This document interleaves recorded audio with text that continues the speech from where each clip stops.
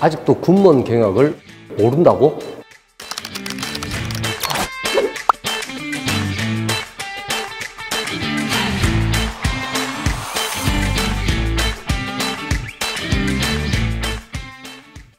많은 수험생들이 군무원 경영학을 어려워하고 있죠. 넓은 범위와 많은 학습 분량이 여러분들을 힘들게 하고 있습니다. 요약과 더불어서 기본적으로 시간 투자가 좀 필요한 과목이기도 해요.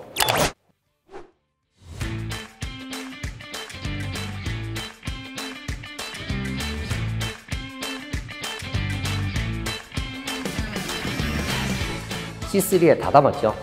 쉽게 요약해서 여러 번 반복할 수 있도록 하는 것이 제 강의의 장점이라고 생각합니다. 진짜 군무원 경영학 이현재 C3 경영학